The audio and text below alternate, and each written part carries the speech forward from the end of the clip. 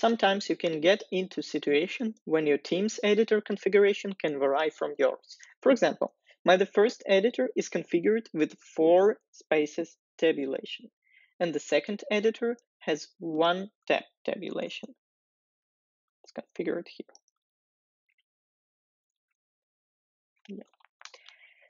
If I try to add a new line to file in the first editor, I'll have a one tabulation type, but if I add the second line using the second editor, they will look different. Let's give it a shot. I add a new line in my first editor, so I have four spaces tabulation here. I add some values here.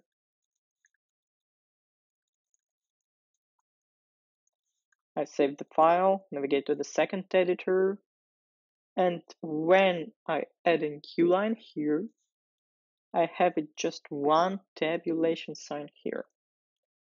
To make them consistent, I can use file named EditorConfig. Let's create this.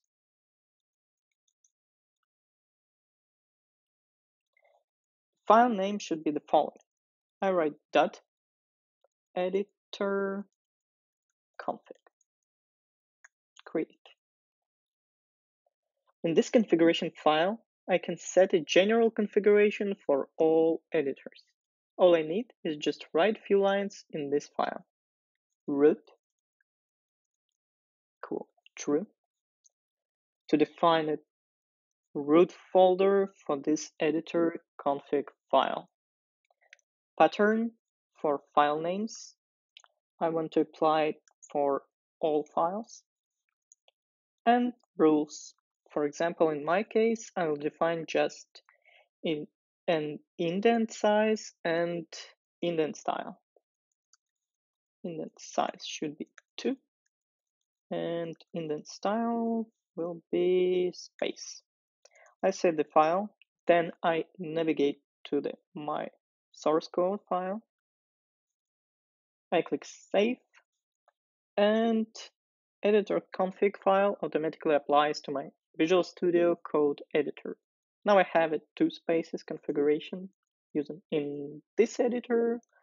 And if I do it, if I navigate to this editor, I see the configuration here is the same. It's just two spaces. So we made our editors consistent and thanks for watching. That's all I wanted to show you.